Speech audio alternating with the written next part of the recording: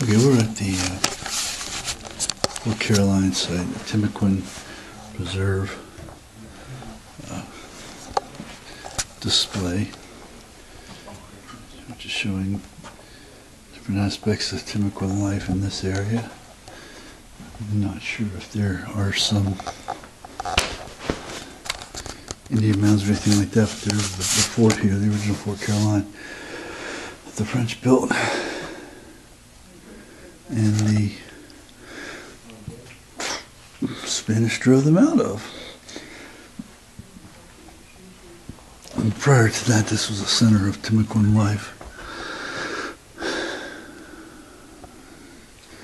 And here we have an old dugout canoe. You've been to the museum in Tallahassee, and they have bunches of those they got from Newnan's Lake. Very cool. I wonder what that's carved out of. Clay, shell beads.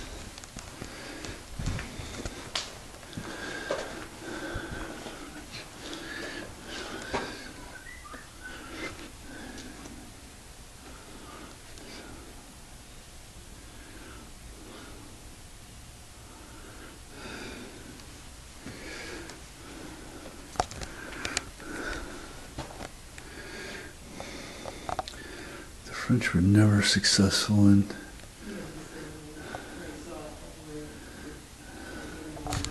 their attempts to colonize and settle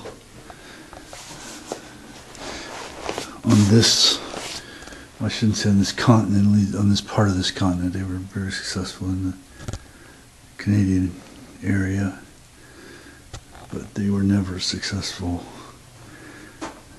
as first the Spanish and then later the English, who were ultimately the most successful. So these are all 16th century French uh, weaponry and protection. Very cool stuff.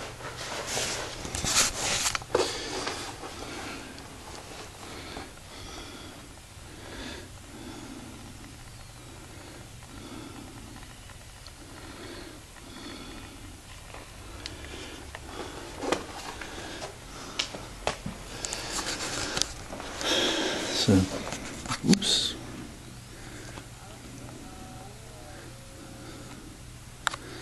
It's outside, apparently, like I said, there's a fort out here, which was the primary motivation for my coming.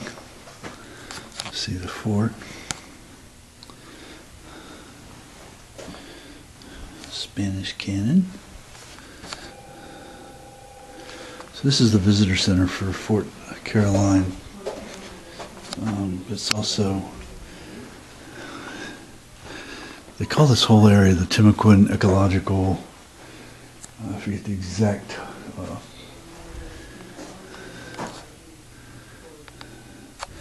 name they've given it, but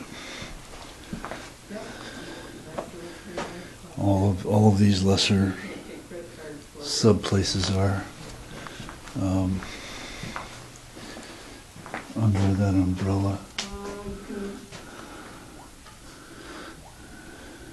Yes, we're at Fort Caroline. Uh, a So we're gonna go check out the fort now. Oh, here we go. This is the Timucuan Ecological and Historic Preserve, and this map here shows the general overall area. Cedar Point, we were at Kingsley Plantation earlier, Fort George Island, um, Club. We were through there, we didn't go in there. The Huguenot Memorial Park. Naval station's right down here. I knew it was around here somewhere, but I didn't know where it was. So here we are over here. And I want to go back over here and see this place because I really need to look at it. Because it was raining and raining has subsided somewhat, and I don't think there's a closing time. There's a closing time for this at 5 o'clock, and it's now like 3 45 so we gotta kind of get moving on this deal but um This is the visitor center, and we're we're gonna go check out the uh, fort.